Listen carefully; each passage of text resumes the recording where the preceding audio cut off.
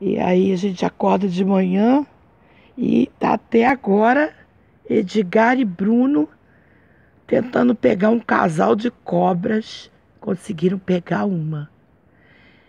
Um casal de cobras morando e fazendo essa, esse, esse coqueiro aqui do lado da cozinha de, de, de hotel.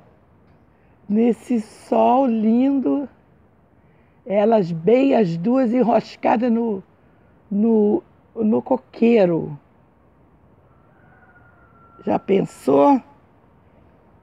E até agora, são meio-dia já, né? E foi uma, falta outra. Meu Deus do céu, olha.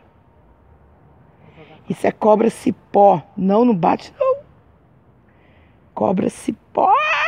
Deus, na porta da cozinha. Só Deus. Hein, Bruno? Não, agora ela não. É, mas ela não vive mais não.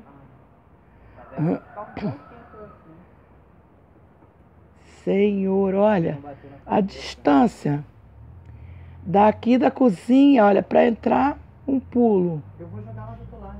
Eu não gosto de bater assim no tapão. Que Se eu corta. ela no meio, ela vai embora. É,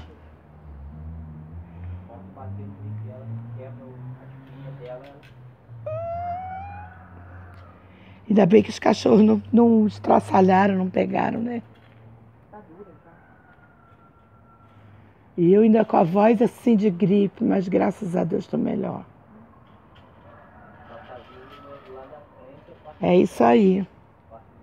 Quem mora em sítio tá sujeito a bicho. Quem tá na chuva é para se molhar, né?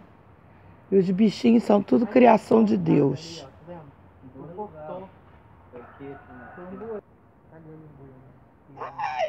Tem língua? Tem língua, Edgar?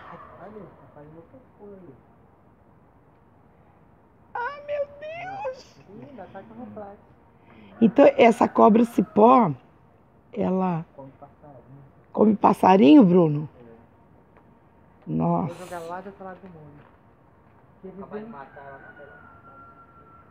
Não, viver ela não vive mais não. Pode fazer ainda mal pra algum bicho. Alguma